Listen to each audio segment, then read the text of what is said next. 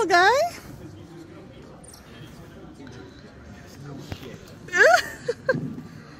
the new Bird Tricks mascot. no, you're fine.